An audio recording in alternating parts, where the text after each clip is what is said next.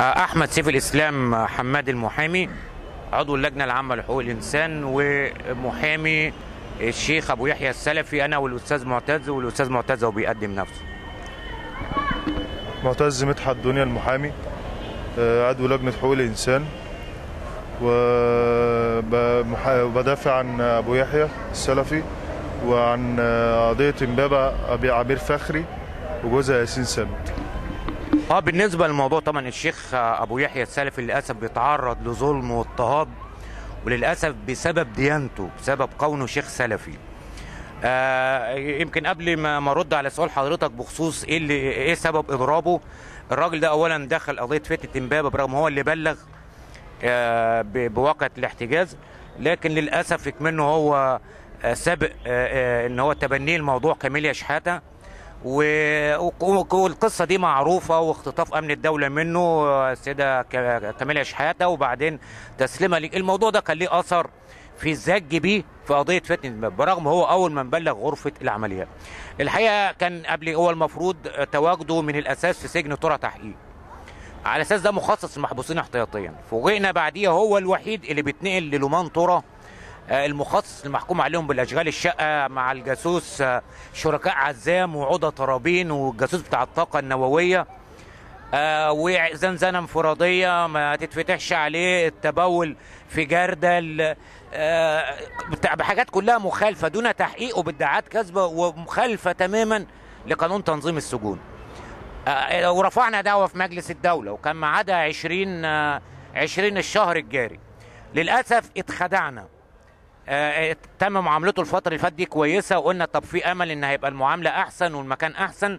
للأسف استنوا طبعا بالتالي ما حضرناش جلسة ال- الدعوة للطعن قدام مجلس اللي كان جلستها يوم 20 10 بعد ما اتاكدوا إن إحنا ما حضرناش والجلسة اتشطبت في نفس اليوم فوجئنا بنقله إلى سجن الاستقبال في زنزانة إنفرادية آه، ما فيهاش دورة مية ما فيش نور مقفل عليه 24 ساعة. يمينه وشماله زنزانة المجانين وخبط ورزع. طبعا الراجل حس بظلم والكلام ده مخالف تماما لقانون تنظيم السجون. حس بظلم آه، اضرب عن الطعام. طبعا هو بقاله آه، أكتر من يومين كان مضرب عن الطعام لغاية لما إحنا عرفنا آه، بلغنا رئيس نيابة المعادي وقلنا له إن قبل كده كنا قدمنا بلاغ في عملية نقله الأولاني. آه، الحقيقة رئيس نيابة المعادي قال لي أنا اولا البلاغ كان مقدمه ضد آه، الأول اثبات إن في إضراب عن الطعام وتدهور صحته وتاني حاجة بتهم مساعد وزير الداخلية اللي هو محمد نجيب ومأمور سجن الاستقبال إن هم بيحاولوا محاولة قتل الشيخ أبو يحيى. بأعمالهم المخالفة للقانون والتعذيب بقصد إنهاء حياته. وبرضه كتبت في الشكوى إن للأسف بيتردد إن وراء هذه الأعمال قيادات كنسية.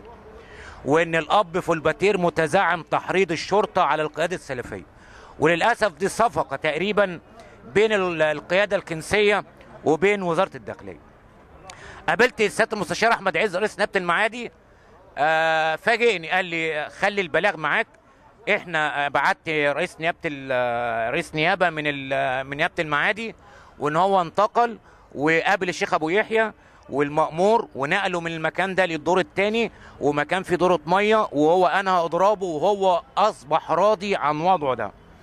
طبعا أنا لعدم ثقتي في قيادة الداخلية لأن هم لا زالوا قيادات العدل. قلت له طب يا سيادة المستشار أنا عايز أزوره.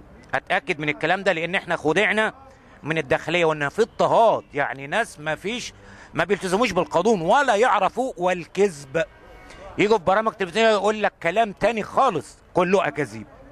فطبعا كان الساعة عدت ثلاثة فقال لي طب خلاص يوم السبت روح وبإذن مني وقابل المأمور وقابله وتعالى قول لي أخباره. آه، أنا ما ما عمليا ما شفتش إن الشيخ أبو يحيى أنا هضربه. عمليا ما شفتش حالته إيه ولكن كلام مستشار رئيس النيابة آه، اللي قالوا إن هو أنا اضراب وإنه راضي واتنقل من مكانه والمعامله كويسة. إن شاء الله هنشوف ده. وبناء عليه دعيت بعض الزملاء بوقف ال- الوقفة الاحتجاجية. والبلد مش متحملة. البلد مش متحملة بس أجلوها لغاية لما نشوف يوم السبت هل الكلام ده اتطبق عمليا ولا لا. ده بالنسبة لموضوع الشيخ أبو يحيى. نتمنى ما تكونش صفقة بين الكنيسة ووزارة الداخلية للتنكيل والاضطهاد أكتر من لازم بالشيخ أبو يحيى السلفي وبنقول الكلام ده غلط. البلد مش محتاجة مشاكل. وشكرا. نفس الكلام ده هو اللي كان بيحصل قبل الثورة وبعد الثورة. مفيش جديد. وإهانة أبو يحيى مش إهانة أبو يحيى لشخصه. لا دي إهانة للسلفيين كلهم والرموز الإسلام كلها. بس.